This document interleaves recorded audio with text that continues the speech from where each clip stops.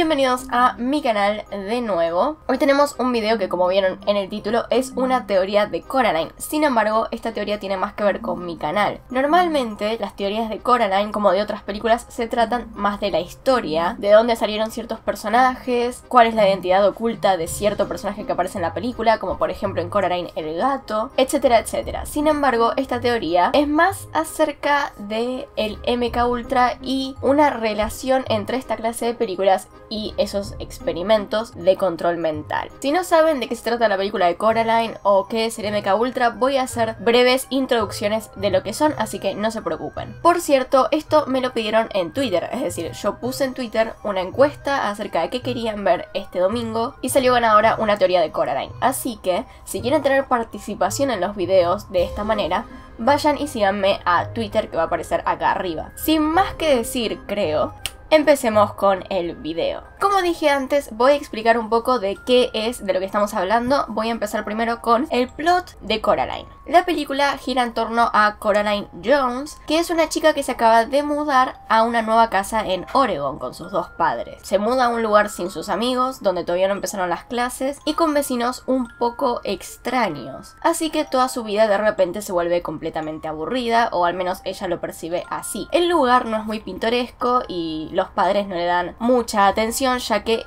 tienen mucho trabajo por hacer, se acaban de mudar. Todos estos factores llevan a que Coraline quiera buscar algo de diversión, por lo cual se pone a investigar su nueva casa. En esta casa descubre una puerta pequeña, cerrada, con una llave un tanto extraña. Esta puerta, al ser cruzada, lleva a Coraline a su casa, pero mejorada. Es decir, como una realidad alternativa donde todo es perfecto. En ese lugar tiene a su otra madre, a su otro padre, a sus otros vecinos, y todo lo que parecía completamente gris y aburrido ahora es fantástico y lleno de colores. El tema es que durante la película Coraline se da cuenta de que algo raro estaba pasando y su objetivo final será escapar de su otra madre, que es en realidad una Beldam. Ese es el plot en grandes rasgos. Pero, ¿qué es el MK Ultra y por qué decimos que esta teoría tiene que ver con control mental? Verán, el proyecto MK Ultra es el nombre que se le da a un programa secreto e ilegal de la CIA. El tema de este proyecto es que hacían experimentos en humanos, hacían experimentos con ciertos fines, como desarrollar sustancias y procedimientos para sacar información a personas en interrogatorios. Todas estas cosas desembocaban en una de las prácticas que era intentar controlar la mente de las personas. Por eso relacionamos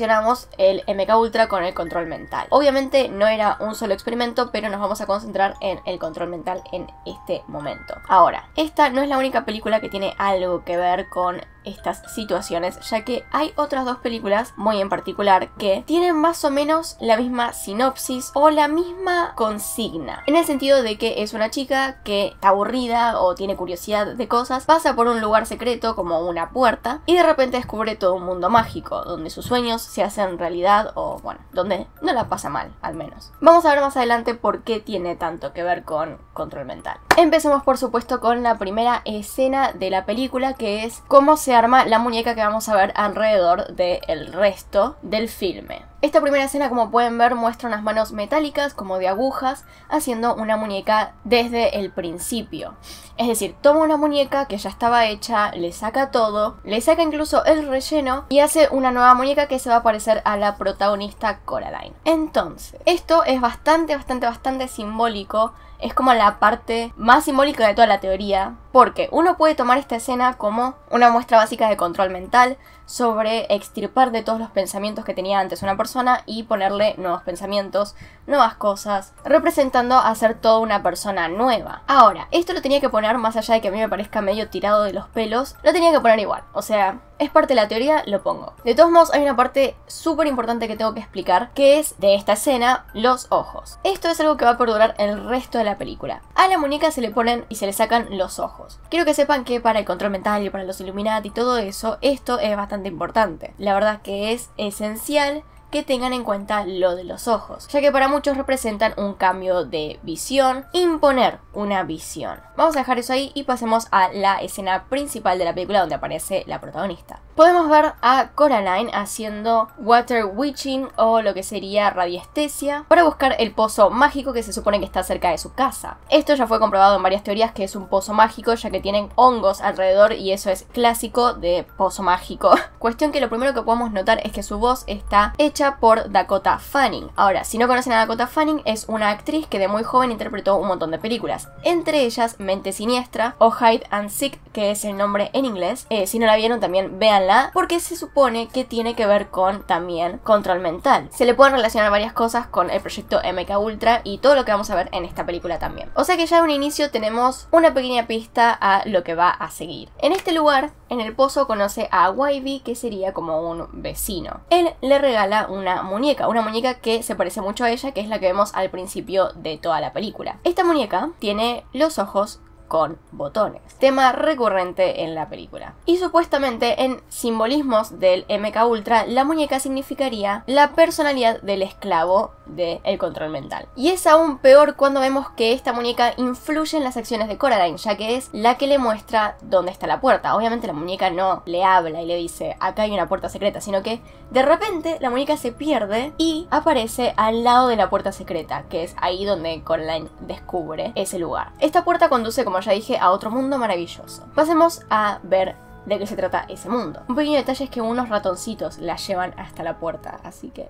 Alicia en el País de las Maravillas, pero versión ratón. En este nuevo mundo, Coraline descubre a su otra madre, quien tiene botones en los ojos, que es la característica principal de cada persona de este otro mundo, excepto el gato, pero eso lo vamos a ver después. Este simbolismo de los botones en los ojos es importante ya que ilustra que los personajes de este mundo alternativo son títeres del controlador, que en este caso sería la otra madre o Beldam como le vamos a decir en algunas oportunidades. Lo que acaba de pasar y lo que va a pasar después son características típicas de otras dos películas y supongo que habrá otras más que se relacionan también con el MK Ultra, tales como Alicia en el País de las Maravillas y El Mago de Oz. Tiene particularidades como que la protagonista es valiente, curiosa, buscando una nueva vida llena de emoción y todas estas cosas. También tienen como particularidad que entran a otro mundo a través de algún portal mágico o algo por el estilo, que luego se obsesionan con este mundo y se quieren quedar, para más tarde darse cuenta del error que es quedarse y querer irse rápido, porque ese mundo en realidad es todo una farsa o está llena de problemas, etcétera, etcétera. O porque extrañan el mundo real, ¿no? Se supone, se dice que en sesiones de control mental se utilizan estas películas con frases como para disasociarse del dolor, pasa a través del espejo como en Alicia en el País de las Maravillas, o tenés que ir a través del arco iris como, no sé, el mago de Oz. La cosa acá en Coraline sería pasar a través de la puerta que te va a llevar al mejor mundo. Este es un pequeño detalle que les quería aclarar ya que la siguiente parte de hecho describe lo mismo que estas películas, que es que Coraline termina queriendo quedarse en este mundo mágico antes que en el mundo real. Es ahí cuando la otra madre aprovecha para decirle que si quiere quedarse puede hacerlo,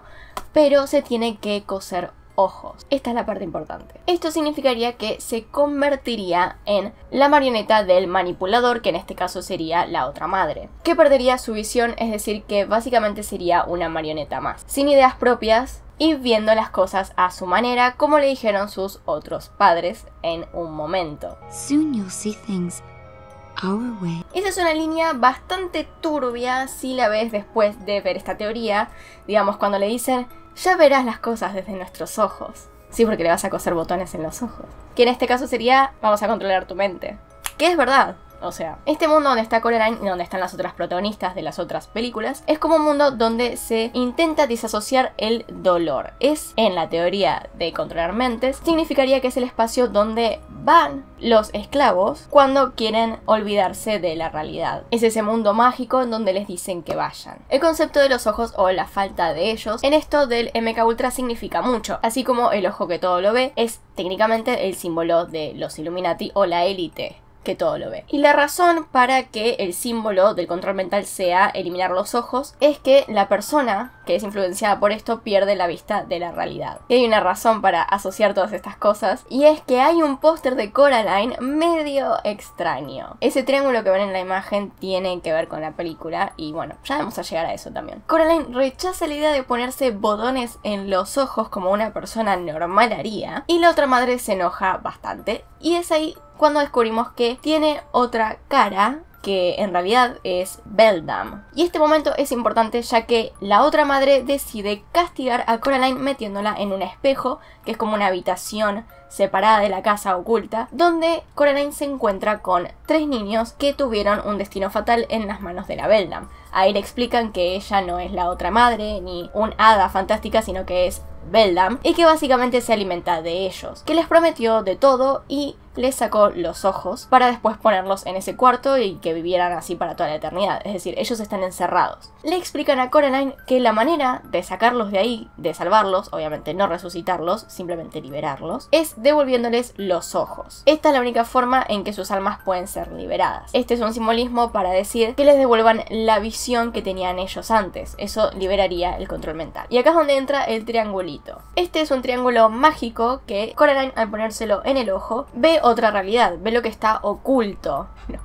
Es demasiado simbolismo eso, es demasiado, demasiado simbólico no, no puedo. Cuestión, ella pone el ojo atrás del triángulo y encuentra los ojos de los niños. Y hay una pequeña, pequeña curiosidad en esto y es que, como ya les dije, esta otra madre en realidad es una Beldam que se asemeja al título Gran Dama. Y es un título que se le da a mujeres importantes en el sistema de control mental de los Illuminati. Lo cual, en realidad, no creo que sea tan tirado de los pelos. En realidad los términos están bastante, bastante cerca uno del otro. El objetivo de Coraline después de, entre comillas, derrotar a la Beldam es ocultar la llave. A través de la película se le da a conocer a Coraline que hay solo una llave para la puerta que descubrió. Esto representaría la llave a la psiquis de Coraline. Si Coraline la tiene, nadie puede entrar en su cabeza, nadie puede controlarla. Sin embargo, si la Beldam la tiene, adiós, se quedará con su alma. Esto es discutible al final y ya vamos a ver por qué. Es, es, como una parte bastante importante. Coraline, si no se los mencioné antes, es ayudada por un gato negro, del cual no sabemos el nombre. Algunos relacionan a este gato con ser un familiar de Coraline o con alguna clase de magia negra, porque bueno, gato negro, brujos, etc. El tema es que este gato lleva a Coraline a ver los confines del mundo de la Beldam, explicándole que ese era todo el mundo que tenía por ofrecer. En teoría, le muestra a Coraline los confines del mundo disociativo, en donde Coraline está encerrada. Es decir, en teoría podemos decir que este gato ayuda a Coraline a salir de eso, a darse cuenta de dónde está parada. Sin embargo, también podemos discutir que no la ayuda, que lo hace peor, pero bueno, eso son otras teorías técnicamente. Después de pelear con la Beldam, Coraline encuentra los ojos de los fantasmas, los libera y debe tirar la llave. Al principio de la película vimos el pozo mágico, que supuestamente es infinito. Es ahí donde Coraline decide tirar la llave. Y acá se pone un poquito turbio. Primero que nada, lo que tiene que ver esta teoría con otras es que dicen que en realidad Coraline tira la llave pero no se libera de la Beldam, ya que se teoriza que el pozo ese es en realidad una puerta al mundo de la Beldam. Y que en realidad todo lo que hizo Coraline fue mandarle de nuevo la llave. Y eso querría decir que la Beldam ganó. Lo peor de todo es que después de pensar esto y ver la película y ver el final, te das cuenta del panorama que se hace justo, justo en la escena, en la última escena de la película. Que es el jardín donde se supone que el lado lindo de la realidad, o sea, la otra realidad, forma la cara de Coraline. Sin embargo, en el último como paneo de la película, en realidad dicen que forma la cara de la Beldam. Mírenlo, porque ya no parece la cara de Coraline, sin las flores y son las cosas, no parece la cara de Coraline, sino que parece otra cosa fea. Fea y mala y horrible. Es así como teorizan que en realidad Coraline nunca escapó del mundo de la otra madre. Y es así como los que teorizan sobre el MK Ultra dicen que Coraline en realidad nunca logró escapar el control mental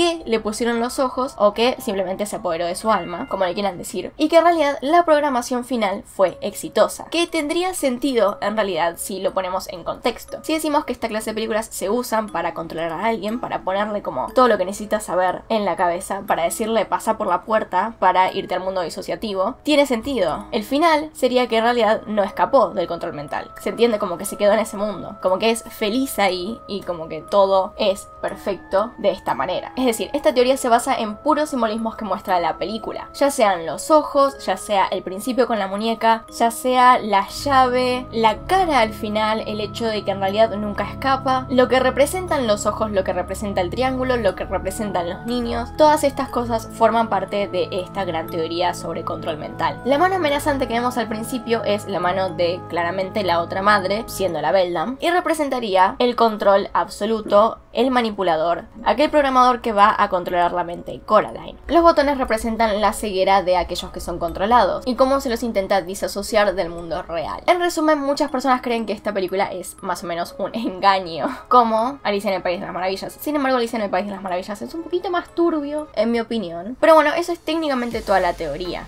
Espero que las imágenes hayan aclarado bastantes cosas porque creo que no me sé explicar demasiado bien. Voy a hacer mi mejor trabajo editando esto para que se entienda bien cada simbolismo de la película. Y bueno, hasta acá la teoría de Coraline. Espero que les haya gustado. El próximo domingo voy a hacer saludos para aquellos que se estén preguntando cuándo los voy a volver a hacer. Déjenme saludos en Twitter si quieren que los salude también, porque por ahí saco saludos de ahí. Acá tienen un video nuevo, acá tienen un video recomendado. Se pueden suscribir haciendo clic en mi cara. Y nos vemos en otro video. Adiós.